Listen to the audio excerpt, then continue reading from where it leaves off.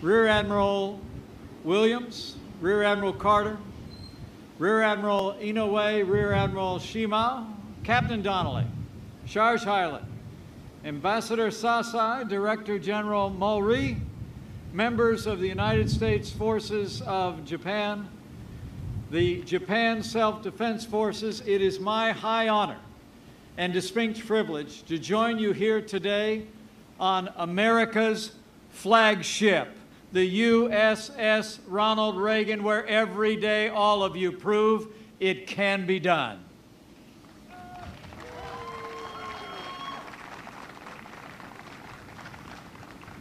Now, you all look sharp out there, but at ease. It's so good to be with you today.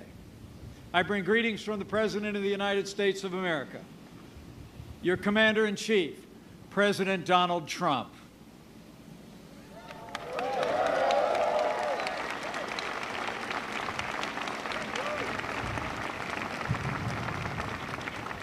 You know, I spoke to the President this morning just before I boarded the ship. He said to tell you that he's proud of you. And he said to me, I wish I could be where you are. And I know he meant it from the bottom of his heart. You know, the President sent me here today to thank you, to thank you for your service, all of you, American and Japanese who have stood up, who stepped forward to protect our countries, our values, and our very way of life. You are the sons and daughters of freedom, willing to defend it with your life so that your families, your fellow countrymen, and future generations may continue to call themselves free. Give yourselves a round of applause. All of America is proud of you.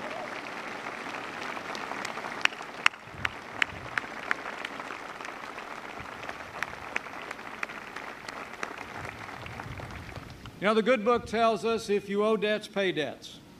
If honor, then honor. If respect, then respect.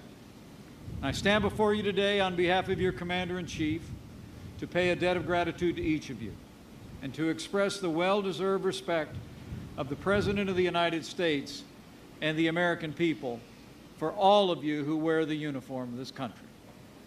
Our prayers for you, for your families, for your safety rise every day into the heart of heaven.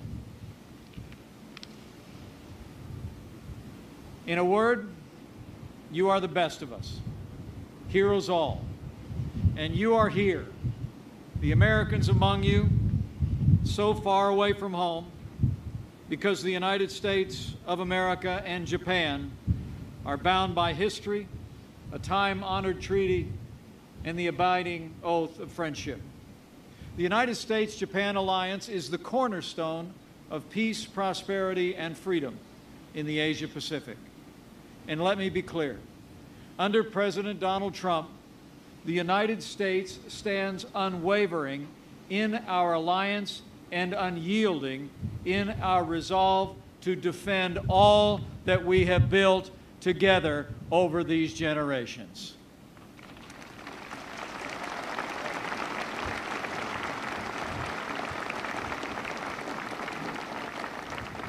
Our bond with Japan is strong and growing stronger by the day.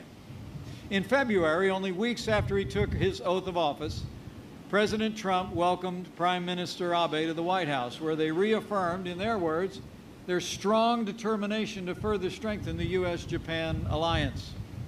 You here, on the deck of this great ship, are the physical manifestation of that alliance. And I have to tell you, it is deeply inspiring to stand before you today and see what I see gathered here on this deck. Every American would be inspired and proud if they had this view, and I know I am.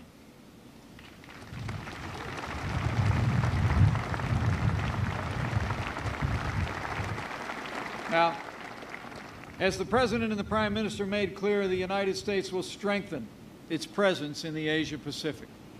Japan will assume a larger role and responsibility in our alliance in the years ahead. And both of our nations will continue to expand our cooperation for our common defense. Under President Trump, the United States commitment to Article 5 of our security treaty is unwavering. And our treaty covers all of the territories administered by Japan, including the Senkaku Islands.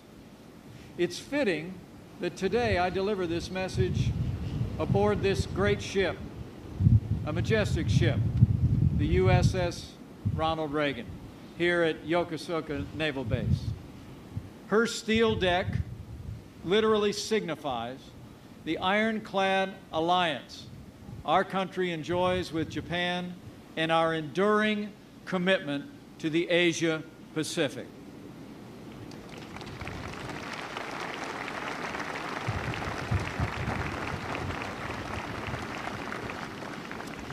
You know, we're standing, we're standing on a ship named after my second favorite president.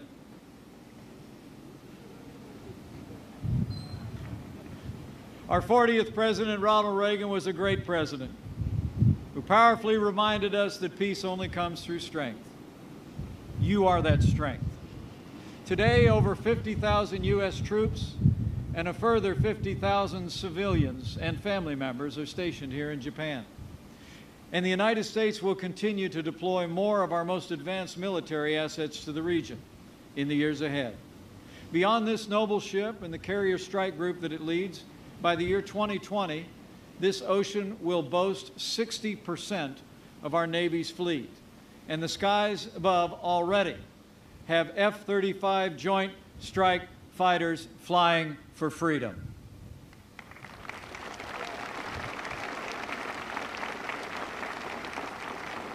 And you can rest assured. The full range of the United States military capability is dedicated to the protection of Japan. Japan, you are our friend. You are our ally. And on that foundation, we will face the future together. Under President Donald Trump, the United States, once again, will stand with our allies and stand up to our enemies.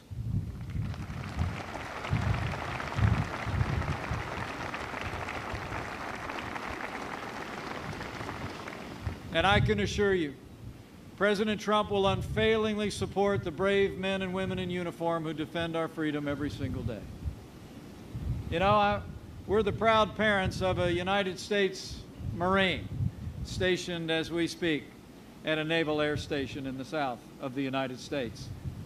And I have to tell you, as the parent of someone in the service, it's the greatest privilege of my life to serve as vice president to a president who is so dedicated to the men and women of our armed forces, their families, and our veterans. I can tell you from my heart, President Donald Trump will be the best friend America's armed forces will ever have.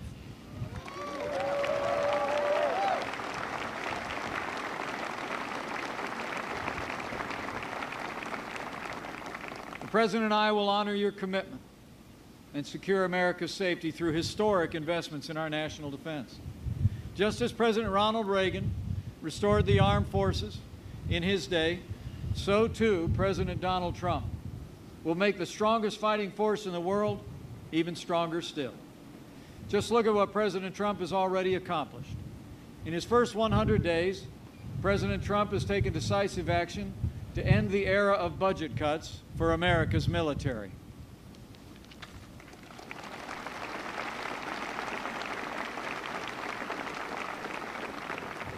President Trump has submitted a budget which will rebuild our military and restore the arsenal of democracy, with the largest increase in defense spending since the days of the namesake of this ship sat in the Oval Office.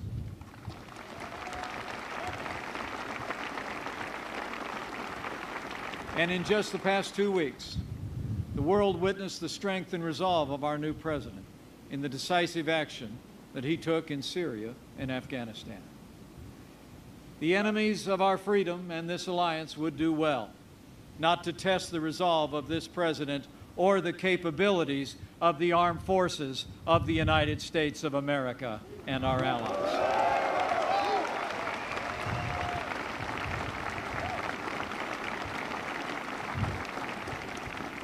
Make no mistake, Under President Donald Trump, the United States will be strong, stronger than ever before. For as history attests, when America is strong, the world is safe.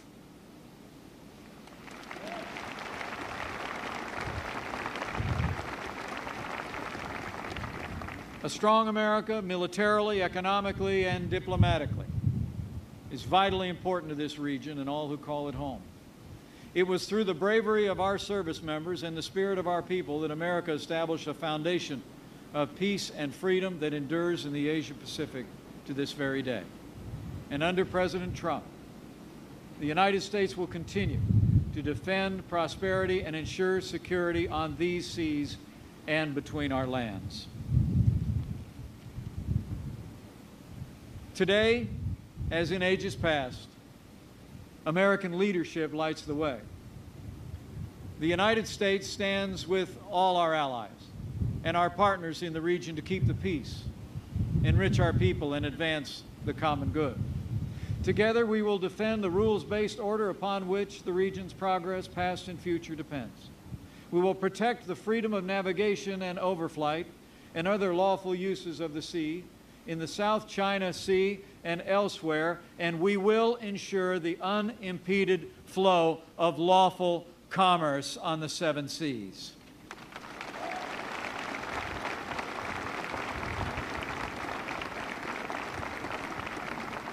We will uphold international rules and norms, promote peaceful diplomatic dialogue to address issues of regional and international concern. And we will defend human rights because the dignity and worth of every person is an eternal value of the United States of America. Under President Trump, the United States will faithfully defend all that we hold dear. For we know that if we falter, the light of truth and freedom in the world could swiftly be extinguished. We gather here today on this deck and in this place as storm clouds gather on the horizon.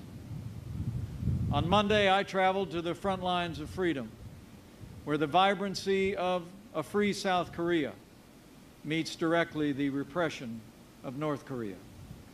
At the demilitarization zone, I met with the brave men and women who watch over that land day and night. They know what you who stand in the gap in this region already know. North Korea is the most dangerous and urgent threat to the peace and security of the Asian Pacific. For more than a generation, North Korea's leaders have sought to develop nuclear weapons and the ballistic missiles on which to deliver them. They have impoverished their people and embittered the region in their pursuit of this dangerous goal. For more than two decades, from the agreed framework of 1994, the six-party talks in the year 2003 to 9, to the strategic patience of the recent past, the United States and our allies have worked tirelessly to peacefully dismantle North Korea's nuclear program and alleviate the suffering of its people. But at every step of the way, North Korea answered with overture, our overtures, with willful deception, with broken promises, and nuclear and missile tests, including a failed missile test they attempted just this past Sunday. As President Trump has made clear to the world, the era of strategic patience is over.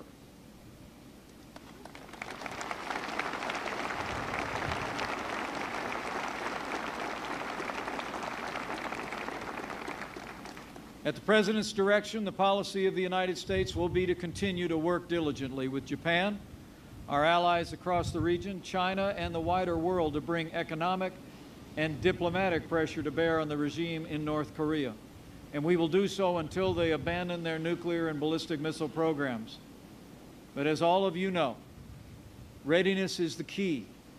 And you, the instruments of American policy, should know. All options are on the table. History will attest the soldier does not bear the sword in vain. And those who would challenge our resolve or our readiness should know we will defeat any attack and meet any use of conventional or nuclear weapons with an overwhelming and effective American response.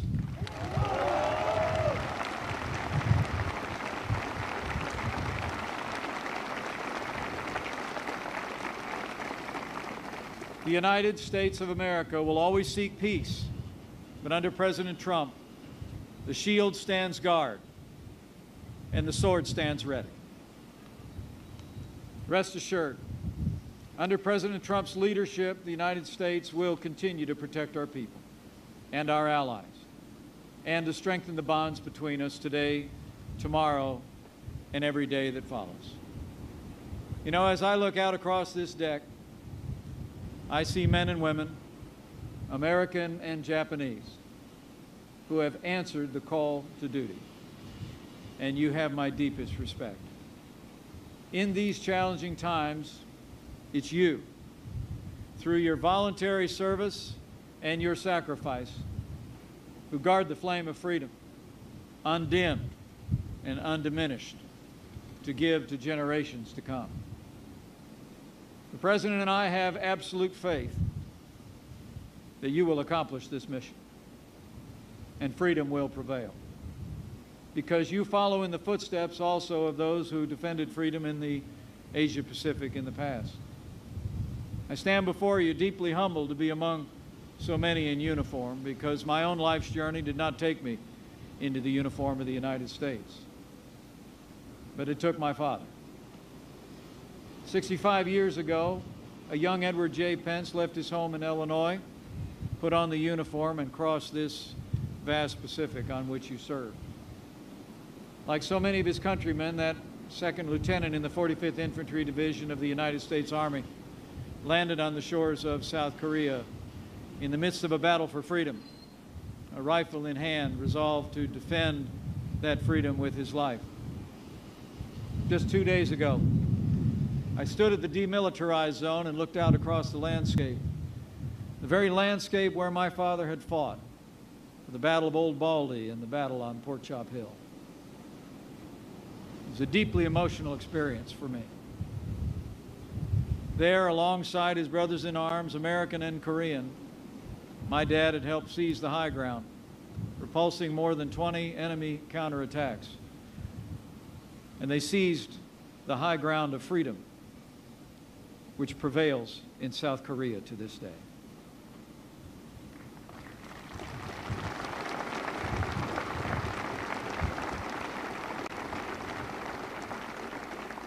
Sixty-four years ago, last week, my dad was uh, had a had a medal pinned on his chest for his valor on the field of battle. But like most of our nation's heroes, my dad never talked much about his time in combat. I believe that he carried in his heart something that you understand in ways that I perhaps never will. My dad never thought of himself as a hero. He, he often would say that the heroes were the ones that didn't get to come home.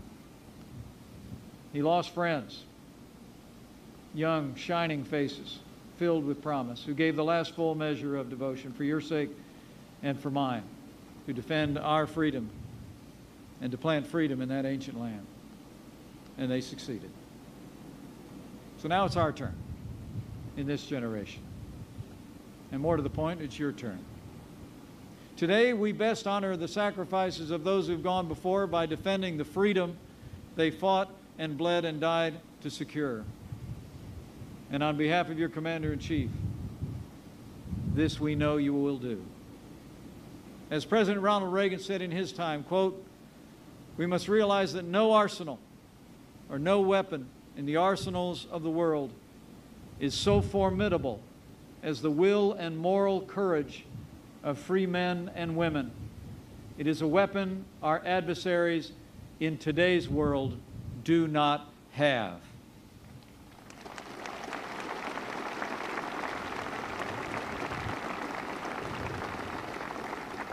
For generations, the United States has stood guard over the Asia Pacific protecting freedom through our strength of will and strength of arms. With our friends and our allies, with Japan and so many others, we've ushered in an era of unprecedented peace and prosperity on these seas and between our lands. Our choice today is the same as in ages past security through strength or an uncertain future of weakness and faltering will. Let me assure you, under President Donald Trump, the United States has again chosen the way of strength.